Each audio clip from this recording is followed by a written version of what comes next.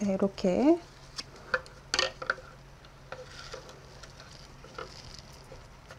네, 높아서 이렇게 약간 걸쳐서 조금 시원한 느낌 나도록 처리하도록 하겠습니다.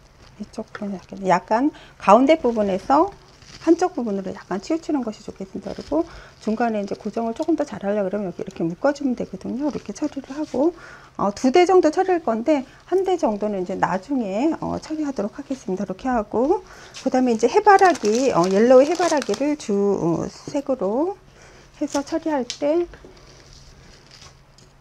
네, 소담스러운 느낌이 나도록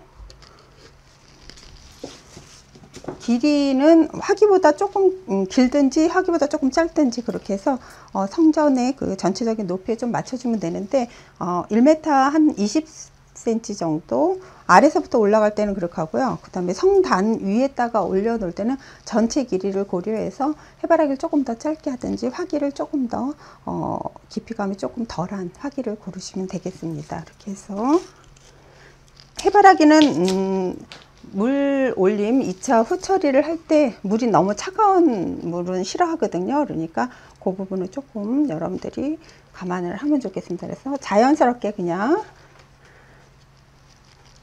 네, 이렇게 그래서 오늘 어, 세 단에서 한네단 정도 넣으면 되겠고요. 그래서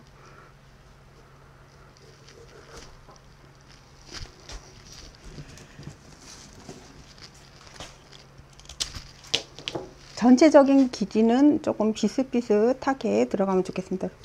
정 가운데보다는 조금 한쪽으로 약간 어, 똑같은 음, 색의 소재를 쓰긴 하지만 그래도 어, 전체적으로 좀 그루핑이 좀 되도록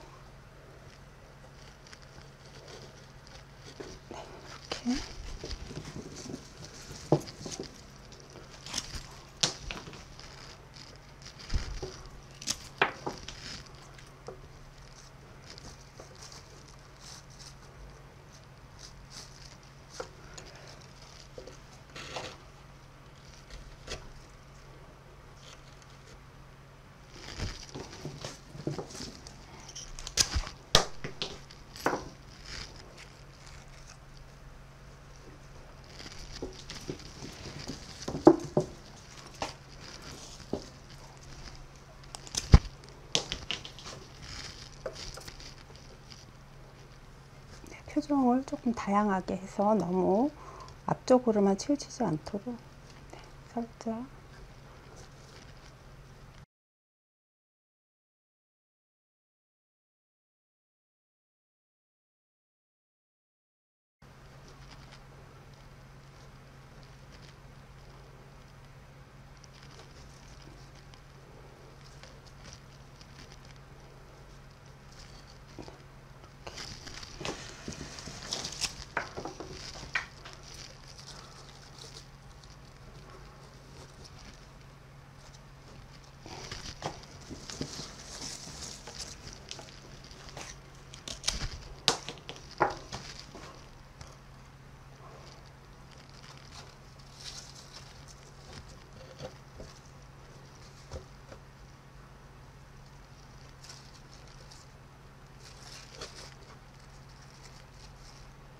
네, 해바라기를 이렇게 이제 어, 자연스럽게 그룹핑이 조금 될 수 있도록 그러니까 여기서는 그냥 완전히 영역을 나누기는 좀 힘들고요. 조금 높고 낮게 해서 공간들이 좀 입체적으로 보일 수 있도록 처리하면 되겠습니다. 처리하고 한 대 남은 자면을 이렇게 뒤쪽으로 약간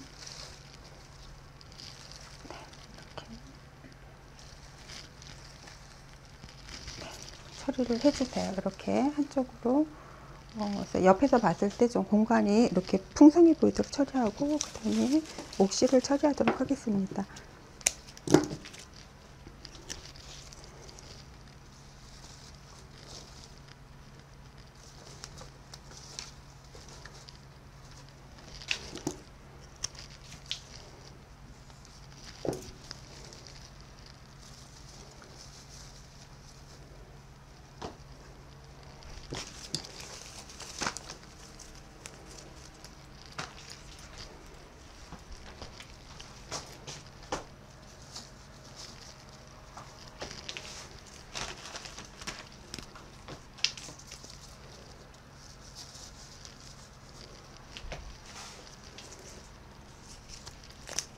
한 두 단 정도 그래서 아랫부분에 풍성이 보일 수 있도록 처리하면 되겠습니다.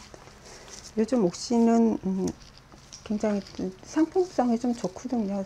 그래서 옛날 같지 않게 물올림이 잘 되니까 너무 아랫부분에 어, 좀 짧지 않는 걸로 구입을 하는 게 좋겠습니다. 그래서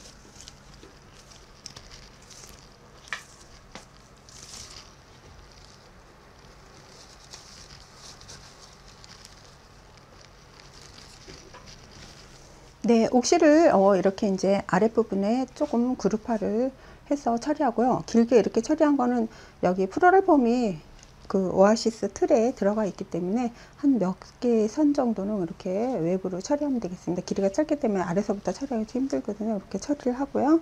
그 다음에 이제 어, 맨드라미를 조금 처리해서 여기 빈 공간을 조금 채워주도록 하겠습니다. 그래서 맨드라미 이렇게 길 필요 없기 때문에 짧게 해서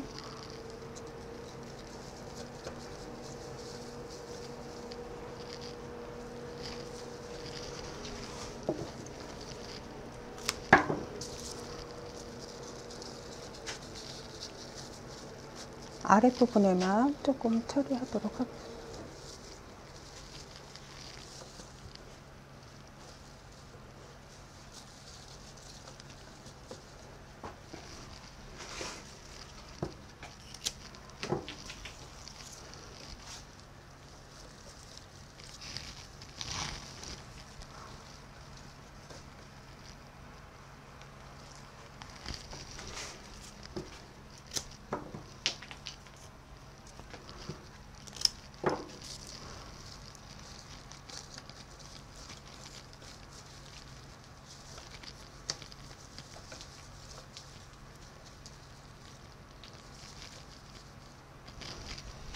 네, 이렇게 해서 이제 맨드라미를 어, 처리하면 조금 더 이렇게 어, 밀착된 듯한 그런 느낌이 예, 표현될 수 있거든요. 그래서 오늘은 이렇게 어, 강한 yellow 해바라기를 주 소재로 해서 해바라기를 조금 자연스러우면서도 풍성하게 그렇게 표현했는데 어, 중요한 거는 이제 길이라든지 표정이라든지 이런 부분들이 어, 서로 이렇게 깊이감 있게 조금 올라가고 내려가고 이렇게 해서 처리를 해야지 어, 이렇게 밋밋하지 않거든요. 그래서 입체화 좀 시키는 거가 중요하고 어, floral foam wreath를 물을 충분히 어, 적셔 가지고 또 더군다나 잎새란 가지고 wrapping을 했기 때문에 이 안에 수분이 그렇게 많이 증발하지는 않거든요. 그래서 어, 몇 개의 이렇게 선들은 어, 이 리스 그 floral wreath에 있는 floral foam에서 이렇게 처리해도 어, 괜찮습니다. 이렇게 해서 처리하고 어, 중요한 거는 이제 색상에 있어서 어, 너무 yellow를 너무 많은 색상하고 이렇게 섞게 되면